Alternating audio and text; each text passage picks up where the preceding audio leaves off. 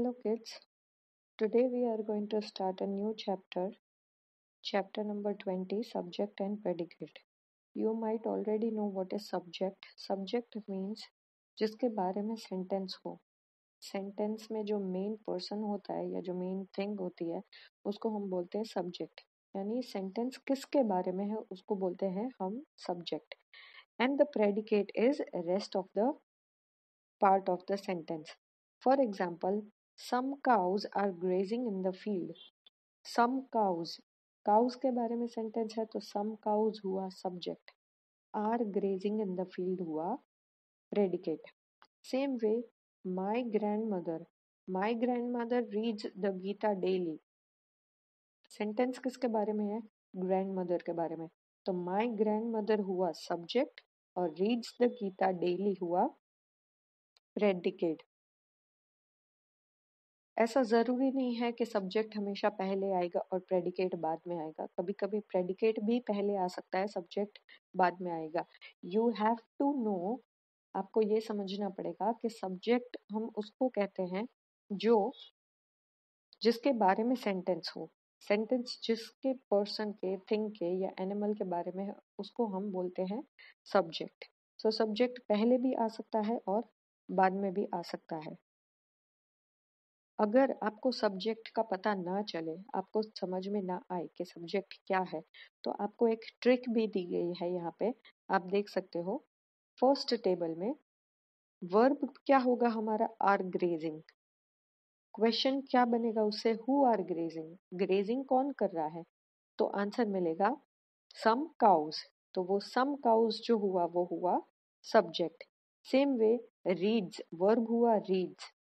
तो क्वेश्चन क्या बनेगा? हु इज़ रीडिंग या हु रीड्स रीडिंग कौन कर रहा है? माई ग्रैंड मदर आंसर होगा माई ग्रैंड मदर तो माई ग्रैंड मदर हुआ सब्जेक्ट इन केस आपको पता नहीं चल रहा है कि क्या सब्जेक्ट है तो आप इस तरीके से सब्जेक्ट पता लगा सकते हैं। सेम वे अगर आपको प्रेडिकेट पता नहीं चल रहा है तो दूसरे टेबल में आप देख सकते हैं कि आपको प्रेडिकेट कैसे पता लगाना है, वो बताया गया है। सब्जेक्ट हमें पता चल जाएगा कि सेंटेंस किसके बारे में है सम काउस के बारे में। तो क्वेश्चन क्या होगा? What is said about the cows cows के बारे में क्या बताया गया है? Are grazing in the field वो आंसर है तो वो प्रेडिकेट पार्ट हुआ। Same way my grandmother subject है। तो क्वेश्चन उसका क्या बनेगा? What is said about grandmother grandmother के बारे में क्या बताया गया है? ये बताया गया है कि रीड्स द गीता डेली वो रोज पढ़ती हैं गीता। तो वो हुआ हमारा प्रेडिकेट सब्जेक्ट वो होता है जिसके बारे में सेंटेंस हो जो डूअर हो या हु या वॉट ठीक है? वो हुआ सब्जेक्ट और प्रेडिकेट होता है बाकी का सेंटेंस जो सब्जेक्ट uh, के बारे में बताया जाए वो।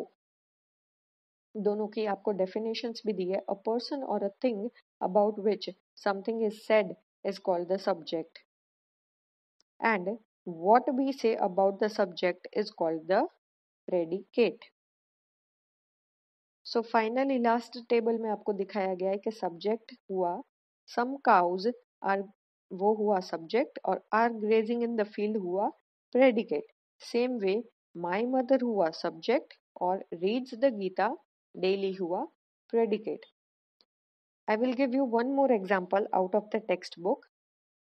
Suppose the boy is standing near the tree तो सेंटेंस किसके बारे में है? द बॉय के बारे में.